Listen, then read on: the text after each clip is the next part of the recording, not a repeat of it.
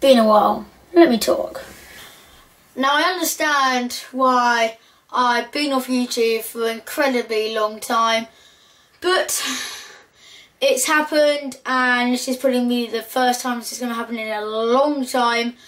I'm trying to get back onto the trailway of YouTube again. At the moment, I'm off the trailway of YouTube, which is really annoying me at the moment. So, yeah, that's why. Now, a week ago, I was flying my drone in the field, in the backfield, um, and I was just going to get a really nice photography video in like I would do. But something went wrong, and I don't know how to explain it.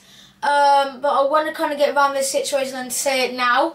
Um, basically, my drone was really high up in the air. I wanted to get well over the trees and I wanted to get really nice and high.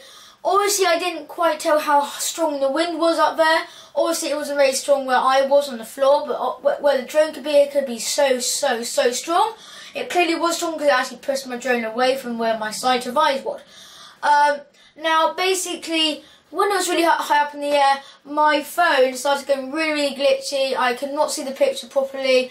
Um, and it's like it lost signal with me and I was kind of getting a little bit nervous. Now at this point I was trying to fiddle around with it.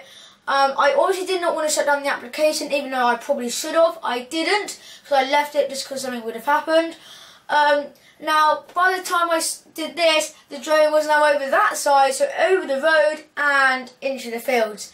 And that is when I started getting really, really scared because it was just going over and over and over all the fields and I could not control it back.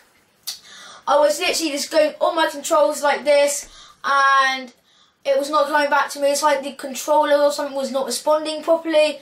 So it crash landed and I went back inside and I told my dad and we couldn't find it and I think it's a lost drone again. Now there's two drones on my bucket list that I've lost. Don't you know